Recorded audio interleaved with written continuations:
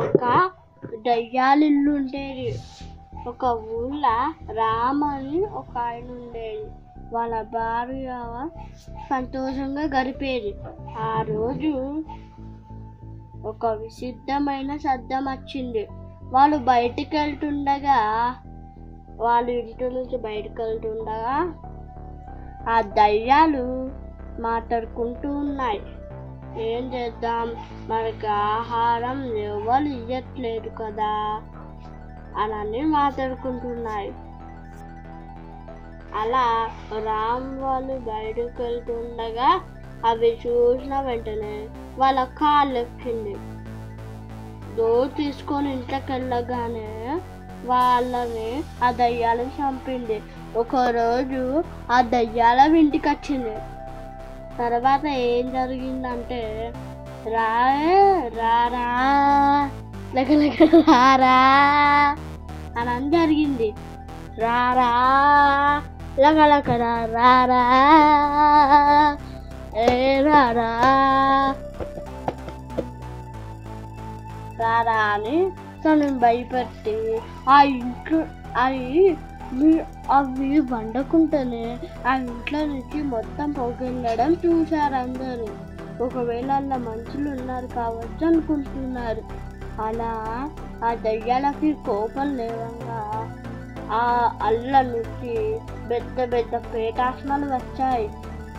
అలా గురుజీ తీసుకొచ్చి ఆ మంత్రంతో వాళ్ళని బంధించారు ఆ ఆ మూడు నక్షత్రాలుగా ఆ మూడు నక్షత్రాల దాచిపెట్టారు ఒకటి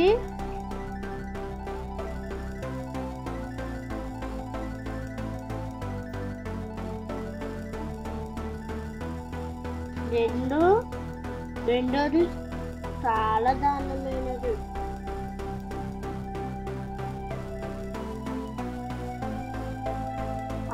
ఆ వల్ల అవి రెండు సిద్ధంగా ఉన్నాయి.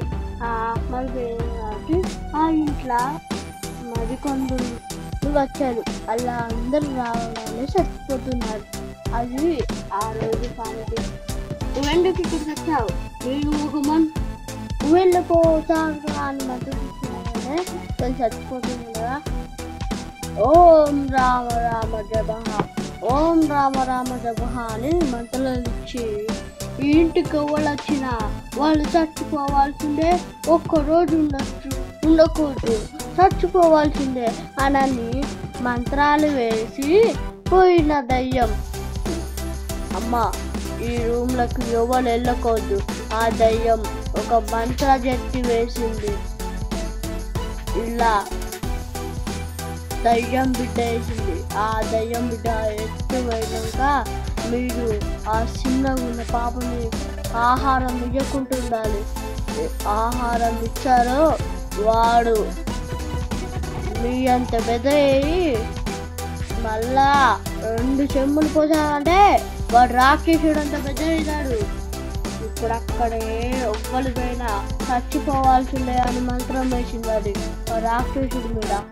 ఇప్పుడు మీరు చెప్పిందిగా తెలుసు. అలాగే ఒక ఆయన కాన్ఫ్యూషన్ రెండు చెమ్ములు వారం రోజులు వస్తే ఆ రాక్షసులు పెద్ద వేయాలి ఇదిగోడు ఇప్పుడు ఎవ్వరు కాపలేరా అని ఉన్నారు ప్లీజ్ స్వామి ఎవరైనా ఎలాగైనా చెప్పులు స్వామి. ప్లీజ్ స్వామి ఎలాగైనా చెప్పులు స్వామి అంటే సరే చెప్తానండి.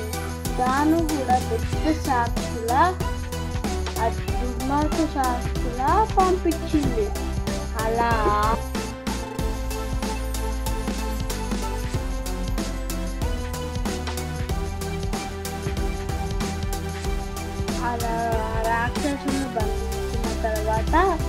వాళ్ళందరూ ఉన్నారు అన్ని అక్కడున్న నక్షత్రాలన్నీ "ఆ" అని ఏడ్చాయి వాటికి బాగా వేసి ఆ నక్షత్రాలన్నీ కోపంతో వచ్చి ఆహ్మల వెంటల వెళ్ళి అవి కూడా ఆహారం తినేసి అవి కూడా పెద్దగా అయ్యి పైన నక్షత్రాలన్నీ బయటికి పంపించింది.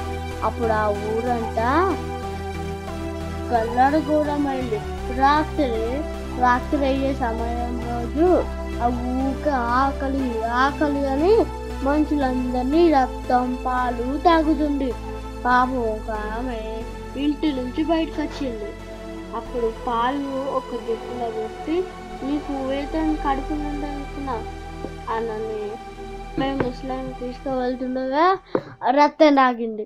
రక్తం తాగితే ఏం జరిగిందంటే నువ్వు ఆమెను ఎందుకు తిన్- మంచి దయ్యం తినేసా? ఆమె ఎందుకు తినేసా? నాకు ఆకలి వేసింది కాబట్టి తినేసాను లేదంటే తినని ఇద్దరు తలతో గుద్దుకుంటున్నారు. అలా గుద్దుకున్న వెంటనే ఆ అందరు చూసి ఆ మంచి దయ్యం వచ్చింది. వాళ్ళమ్మ దయ్యం.